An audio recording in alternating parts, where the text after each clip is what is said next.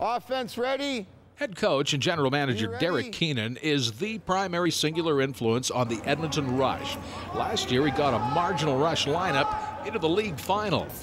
We got our guys back healthy at the right time. We made the playoffs, and then uh, and really started to play well at the right time, and had an opportunity.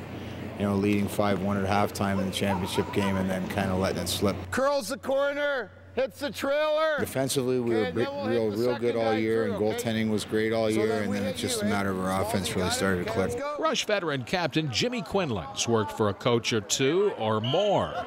He stresses the, the importance of being in shape and, and, and working hard and, and understanding the small details. So, uh, you know, we've we've never felt in the in the three years he's been here like we haven't been prepared for a game. And we had an opportunity with through the draft to get better and younger, and uh, we're we're definitely a more athletic and fast team this year, especially on offense. We made. Um, and we had the first overall draft pick, so um, we. Uh, I think we're, you know, I think we're a better team, but I think other teams are better as well. So it's going to be tough. He's the son of an Oshawa auto worker, second cousin of former NHL coach Mike Keenan. Was an All America player years ago at Ithaca.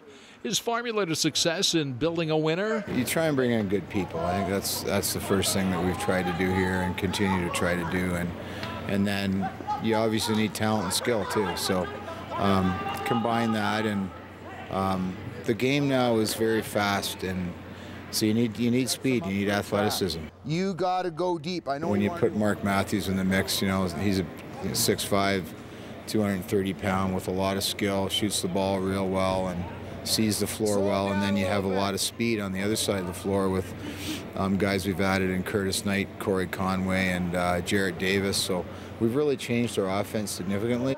Edmonton Rush head coach and general manager Derek Keenan was inducted into the Canadian Lacrosse Hall of Fame last summer.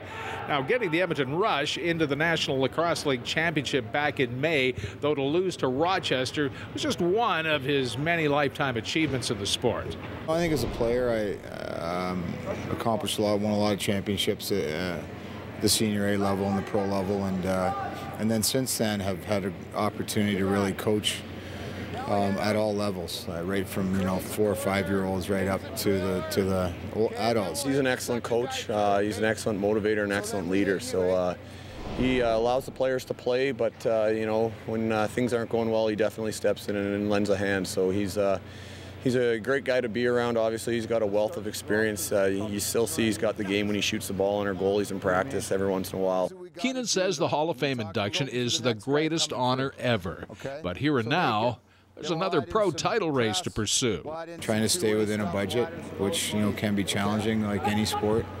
This is a much smaller scale, but it's still we, we have challenges a lot of other leagues don't have. Though we have to fly players in, and there's pretty pretty big expense to that, and not everybody lives in the market. So Five guys on defense back there This is Tim Dancy. on the gate.